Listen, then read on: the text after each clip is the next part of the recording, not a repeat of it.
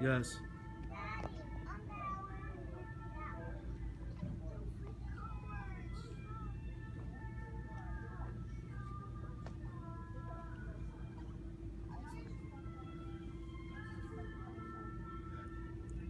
Wow, this is just amazing.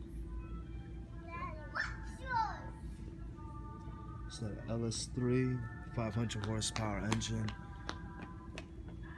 It's got the brakes from a newer Camaro, custom interior. Wanna get that one, Daddy? I wish I could afford this.